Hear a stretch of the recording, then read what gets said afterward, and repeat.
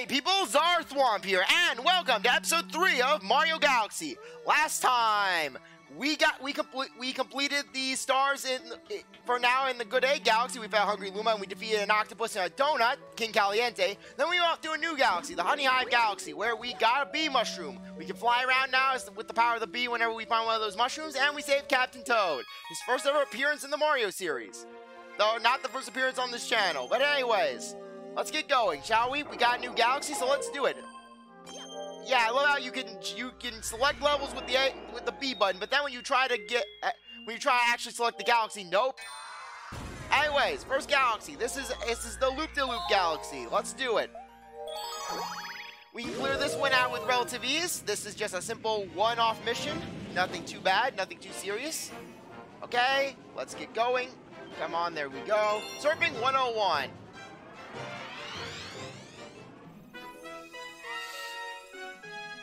Yeah, with a big shine sprite and a manta ray that's staring into our souls. That manta ray is uh, like something out of Five Nights at Freddy's. And the Mario 64 penguins make their return, make their epic return. Hey, Is this is Penguin Paradise. Are you a surfer too? Are you a server or are you a shooby? Tell us what you are! Surfers are treated like brethren and are treated like gods. Shoobies, on the other hand, are cast into the black hole where they are ripped to shreds by the dimensional fabrics of the universe. What are you?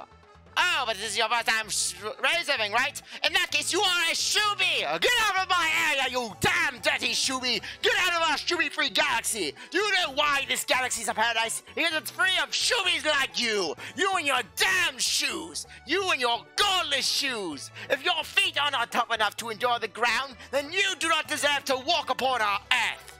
Be gone! Oh, but this is your first time raising, right? Well then, let me show you the ropes. Now let me explain. Try to match the guide on the bottom right. Don't be an asshole. Yeah, that's right. Yeah, yeah. That's the basic position. You are a basic bee. To turn left, twist the twist left in the starting position. Correct. That's how you turn left. Now to turn right, you have to do the same thing. We have to do a whole explanation. Yep, that's how you turn right. Then, all you need to do is hold down the B button to speed up. That's all you need to know. Now, give it a go on the course. Okay? Yes, let's do it. We can't use the actual controller. We can't just go and grab star bits like we would like we would normally be able to. Yeah, we can also jump with the spin button. Okay, racing time. Three, two, one. We gotta beat the time. Let's go. Let's do this. Yes, good luck to us. I'm actually a little nervous to be honest, because frankly, I've never real I don't I didn't really do this mission when I was first playing this game, because frankly, just the whole concept of just using a, a controller instead of a pointer just felt a little off-putting to me. But regardless, no matter how but regardless, unless I got um, until I get my my Wii U prepared, I can't really play games like this on the channel on an actual console with an actual Wii remote. Okay, but for the time being, this is pretty good. This is pretty good. Okay, we should be pretty good. We should be almost out. And too bad we can't actually use a pointer. But it's not the end of the world for us. Okay, let's surf.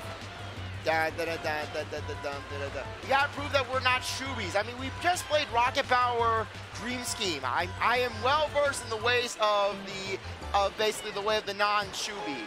I am no shoobie. One minute and one second and 96 milliseconds. Congratulations, you deserve a gold medal, you not, and you are now officially not a shoobie. Here's your badge of not being a shoobie. Wear this art, wear this proudly, to show that you're better than the damn shoobies. Okay, we have proven ourselves as being not a shoobie, so let's get going.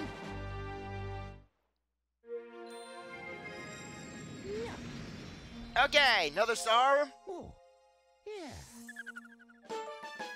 Okay, six. And we fully completed that galaxy, so we get a special little notification. Okay, I'll save the game just because. Okay. And when you see that little icon, basically that little, oh hey, you complete the galaxy, that means that no more stars are going to be present there. However, notice how the Good Egg Galaxy has has no crown despite collecting all the power stars available. Well, you'll see later. You'll see later on what that'll entail. But anyways, let's go. Honey Island Galaxy. We got more missions to do there.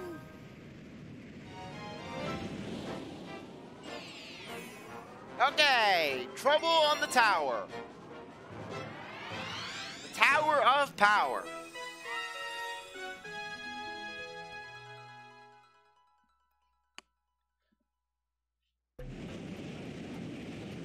Okay, give me my stars. Give me my stars. Come on.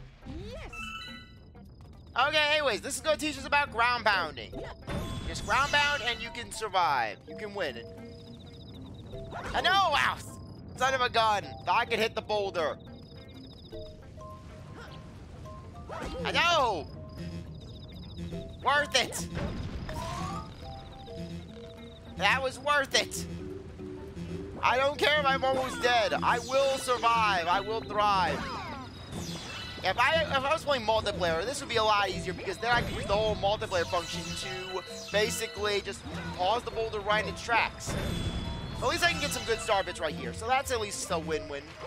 Yeah, I can't go around collecting every last star bit because as tempting as that is, I mean, I still want to make some good time in the game. I mean, I'm not trying to speed run anything, but I'm not trying to speed run or anything, but basically, but I do actually want to not spend an entire episode just focusing on star bits.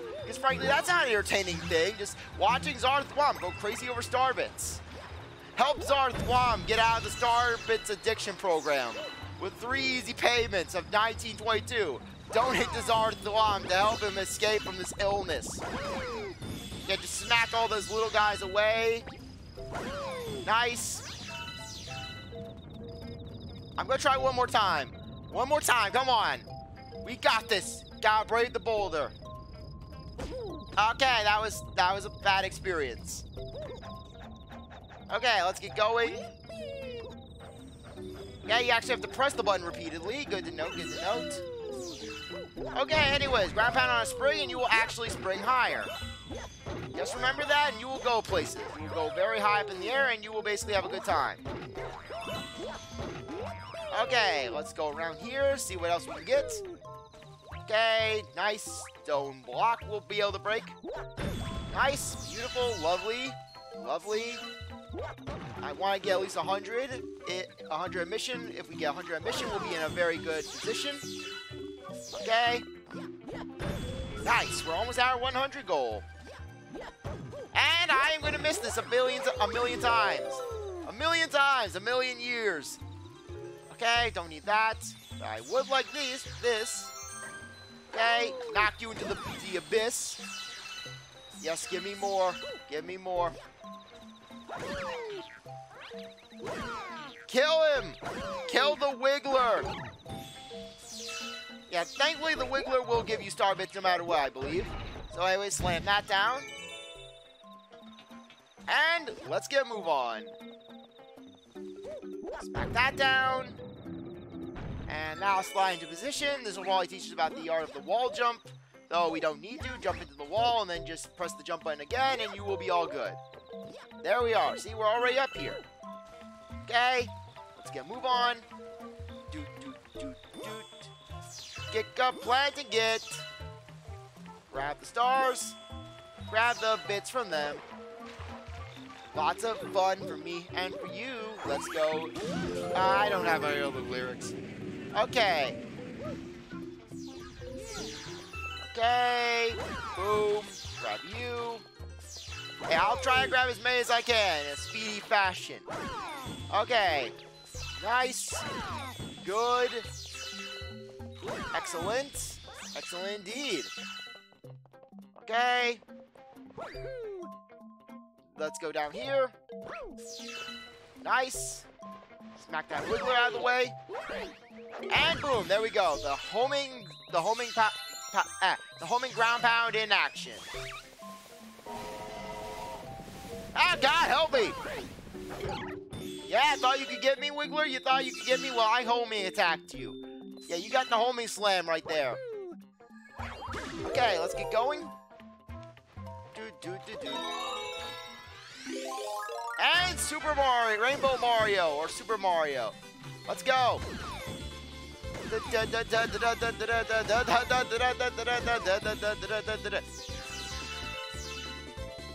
Yeah, Rainbow Mario is really useful. You can smack into enemies, you can basically just grab all their stuff. Okay, yeah, I don't think there was anything we could really do with that. So anyways, yeah, we're already at the top of the tree. Yeah, as you can see, the queen bee is over there. She's doing nothing, just sitting there. Those Vanderbugs have taken over our observation deck. Ooh, they make me so mad. Okay, let's trapeze our way forth. Yeah, we could actually just shortcut our way up here, though. Where's the fun in that? Where's the fun just shortcutting our way up? Anyways, Vanderbugs. Basically, they are very weak to basically ground pound. Slam on their backs and you're all good. Anyways, that is a life extension room. Yeah, the yeah, basically the homing slam is really useful. Anyways, grab that and you have six lives. Your health grew to six. If it drops below four, then basically, well, we're gonna have just three health again. And it will only last for this one mission. Okay? Boom. Yeah, the homing slam is really useful just because an enemy is not underneath you when you slam, well, no issue. You'll you'll hit him anyways. Okay. Let's get going. Let's jump up here. And we're almost done with this mission. Yeah, the thing is that missions are actually going to be getting a lot shorter as the game goes on because basically the thing is is that when the game starts out, they basically really want to go easy on you. They make it a little slower just because they're like, oh hey, you need the help. Okay, you. He gets angry. Okay, and boom. He is dead. And he gave us a power star. And let's get going. Another power star.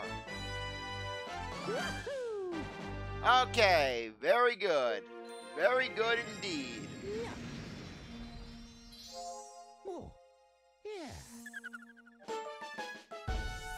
Seven stars.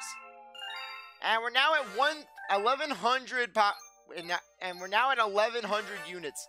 Ah, not 1100 units, at 1100 star bits. I, I like how I'm treating like 1100 units of star bits. We're carrying 1100 units of, of Luma crack. And we got Luma. No, I'm not saving the game. Okay, first off, we're going to head out here. Get our next mission.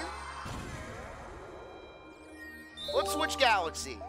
Pretty basic mission and a pretty fun one. All you gotta do, coat the entire planet yellow and you'll get a power star.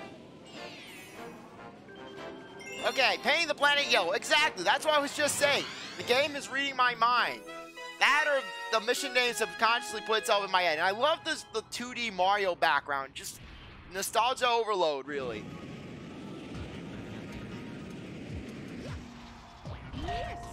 Okay, anyways, that guy, he's gonna be generating shockwaves. Yeah, remember the shockwave enemies from Mario Odyssey? Well, this was their first real appearance in the 3D Mario games. So yeah, let's get going. Okay, jump over here. Okay. Jump over here. Nice. Okay, good. Okay, I'm just gonna jump here so that way I don't turn it back to blue. Okay, good, we're almost done. Okay, no issue, and there we go. All green and a power star.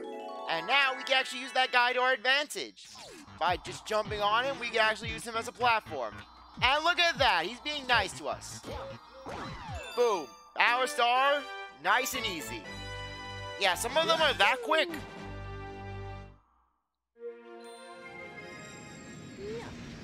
Okay. Okay, flip switch galaxy. And we actually unlock the first boss.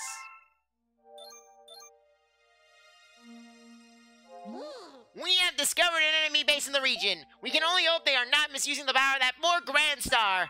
Frankly, just send Twink in. Twink would just utterly wreck them. Twink just, yeah, we go to the base, and it's already burning to the ground, and Twink's just tearing it, heads off. Okay, anyways, Hungry Luma. Hey, you! Yeah, you, Guy Tasty Starbits! If you feed me a bunch of Starbits, I'll burst with snacky happiness and then transform! I'm not gonna read this every time. This is the last time I'll really be doing it. In fact, I need 400 Starbits to curb the hunger pangs. Yeah, as you can see, basically, he is not exactly nice with basic prices. So basically, transform, and we get a new galaxy.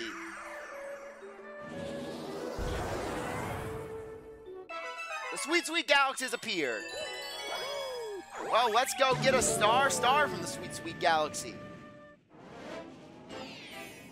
Okay, Rocky Road. And I hope you like Mario Bros. 3 music because that's what you're going to be getting in this area. I have to admit that cake glaze looks pretty good. Okay, yeah, listen to the athletic theme. Listen to that main theme. Yeah, just what you like to hear in a Mario game. Yeah, don't fall through the cookie cut. Don't cut. Don't fall through the holes. Don't fall through the holes. Don't fall into the void. Because apparently this area has gravity despite everything floating in the air. Frankly, if the area, if Mario could, if Mario could fall, why aren't these planetoids falling? That's my question. Shouldn't Mario be just floating around in just the vacuum of space then? Yeah, just don't question Mario logic. It, it just, it's better just not question it. I can't go any further! Don't stop up here! The star's right around the corner! Then why aren't you going for the star? Unless you want to just eat the galaxy. So, I can't help but wonder how good this galaxy would taste considering basically just everyone in it would be putting their feet on the ground. It's like Peach's birthday cake, where it's like from Mario Party 1, where it's like, yeah, you would think it's a good cake on paper, but then you remember that everyone's been putting their shoes on it. And it's probably got dirt and crust in it. Okay, let's do this. Yeah, a little bit harder platform. A little bit of a harder platforming section, but not anything really too bad. Okay. Jump. Long jump. Basically, you crouch and then you jump. We got a Power Star! Well, let me collect that. Let me collect all the star bits that I can. I mean, we we spent 400 to get here. Hey, we're going back! I think donuts smell the cake!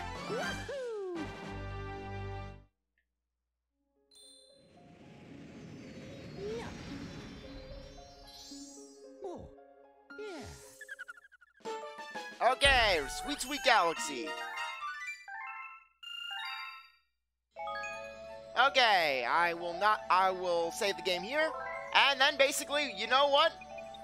We'll go get a grand star.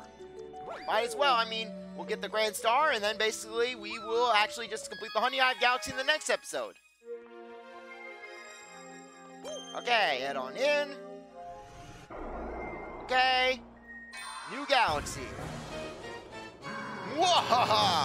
Bowser Jr.'s robot reactor. We're going to Bowser's head. The planet, the galaxy's in Bowser's head. Bowser has shaped the galaxy in his likeness. Megaleg's Moon.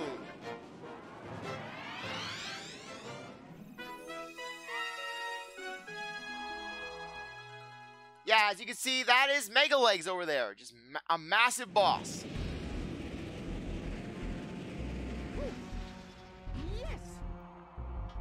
See, we have a bunch of enemies just roaming around. Yeah, we can jump on, we can basically spin these guys and then jump on them to kill them, but frankly, not the best move. Anyways, let's jump here, grab that one up, just so that way we have it. Anyways, the first mission, which we're using bullet bills, our advantage. The bullet bill will seek you out. At that point, just run and use the bullet bill to basically smash anything in your path. Boom. Okay.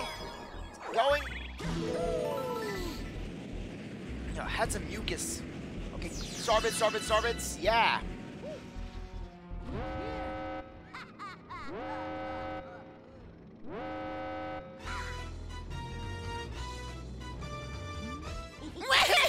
you made it! I, I won't even need my dad's help to take care of you. Go on, Megaleg, stop him with the power of your Grand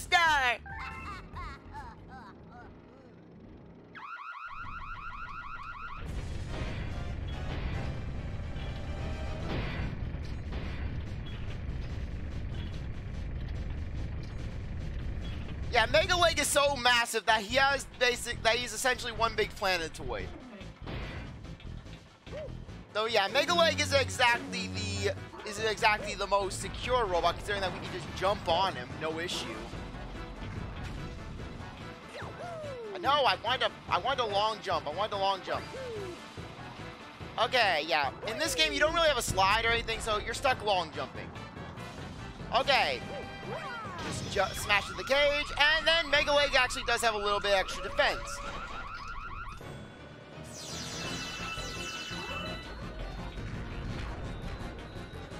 Okay, with Megalegs, gotta smash open the gates. Okay, come on. Okay, good. No! Yes! Okay, thought I could do it. Thought I could trick it out. Okay. Nice, nice, we actually did it! Boom! Just smash open the star, and... Megaleg is dead, just like that.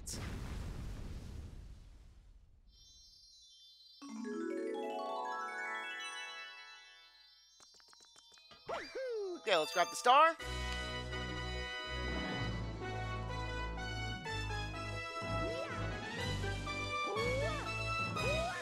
Got Grand Star!